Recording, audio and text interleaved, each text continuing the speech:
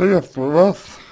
А, исходя из того, что вы написали, я думаю предположить, а, что все-таки, несмотря на то, что все хорошо, а, не хватает какого-то, видим, видимо, разнообразия все-таки в сексе, и я так подозреваю, что в самом сексе вы больше ориентированы именно на то, чтобы эм, доставить удовольствие своей жене, но не себе сам, не себе самому.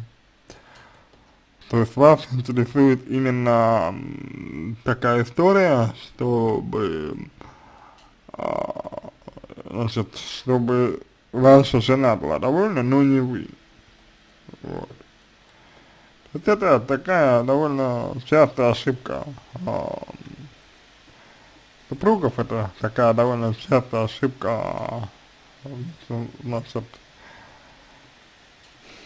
людей, когда они э, вместо того, чтобы э, делать, делать что-то в сексе, для себя они делают, они делают, э, значит,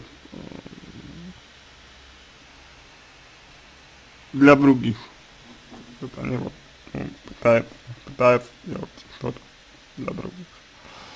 Вот. Ничего хорошего из этого не получается. А, вот. И, соответственно, начинается проблема либо это такие какие-то вот бессознательные совершенно обиды на партнера. Он такие бессознательные, что человек старается делать что-то, человек старается, чтобы партнеру было хорошо, а тот думает, что это, ну, так, да, так и так и должно быть, вот. И в итоге возникает как, как раз таки такой вот диссонанс, когда один пар, один думает, что все в порядке, все хорошо, так и должно быть, а другой думает, вот я тут стараюсь на всех силы, значит, э, вот, и все это воспринимается как должное. Вот. И надо сказать, что это нормально, когда какие-то вещи воспри воспринимаются как, как должное. Вот, э, на самом деле, на самом деле, нормальная история. Вот, э, но вопрос заключается в том, что когда воспринимается как должное, это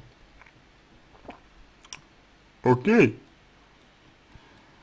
А когда поведение жертвенно, то есть человек делает что-то вот, а, ну, против, скажем так, себя, это вот уже серьезная, в общем, проблема, которая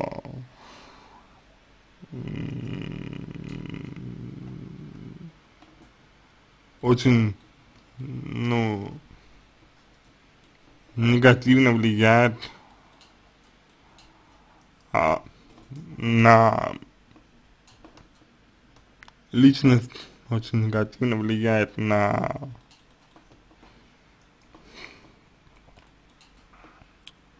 всех и, и на одного и на другого. Вот. То есть речь идет, повторюсь, повторюсь, речь идет именно, о том, что вы не удовлетворены, несмотря на то, что секс у вас все хорошо и практикуете свой оральный секс и так далее, но все равно вы не удовлетворены не хватает вам разнообразия и свободы. Вот. И когда подобное желание подавляется, вот, то возникает всякого рода мысли, всякого, всякого рода девиации, как их называют. А, а, но девиации, они никогда не возникают на пустом месте. Девиации всегда возникают в результате. Вот. Поэтому либо вам, либо, либо вам вместе с женой нужно обратиться к, к семейному психологу и поработать над своими отношениями. Вот, а, в частности, над сексуальным. Ну и секс, конечно, лучше говорить. То есть попробуйте начать с того, чтобы разговаривать в сексе, выражать свои желания, и попробуйте посмотреть, а, на что же, на кого же вы ориентированы в а, сексе. На этом все. Надеюсь, что помог вам. Если у вас остались вопросы, пишите в личку, буду рад помочь. Если вам понравился мой ответ, буду благодарен, если сделаете его лучшим. А, не стесняйтесь выражать свои желания, а если стесняетесь, то, значит, соответственно, обращайтесь к специалисту, мы вам поможем. Желаю вам всего самого доброго и удачи.